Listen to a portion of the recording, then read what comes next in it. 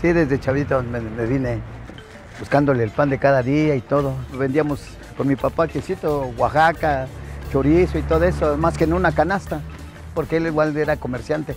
Ranchábamos, ranchábamos era de que cargábamos y a andar en la calle vendiendo y todo.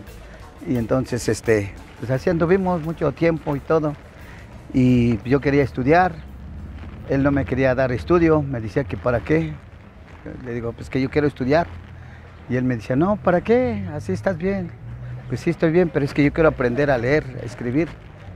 Y entonces yo, yo tengo una hermana mayor en el Estado de México y ella me llevó para allá, para, me apoyó para estudiar.